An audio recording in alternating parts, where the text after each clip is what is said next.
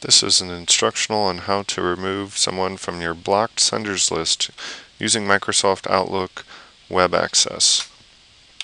First, go to the web page and log in. When you get in, you'll see options at the bottom left portion of the screen. Go ahead and click on Options. In the Options section, we're going to need to scroll down until we see Manage Junk Email List and go ahead and click on that button. Currently we're in the Safe Senders list, but we're more concerned with the Block Senders list at this time. So go ahead and select the drop-down menu and click Block Senders. In the Block Senders list, you can go through and see who all you have either blocked intentionally or unintentionally. As you can see, I have S. Driscoll in my Block Senders list, so I'm going to go ahead and click on that and select Remove.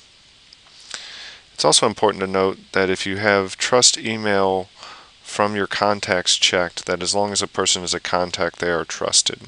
Go ahead and select OK here, and you can go back to your inbox and you're all done. Thank you very much.